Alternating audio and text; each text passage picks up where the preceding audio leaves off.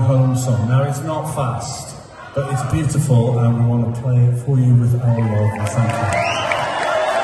I'd like to dedicate this to our great manager Morel Davis as well, without whom this would not have been possible. Thank you Morel.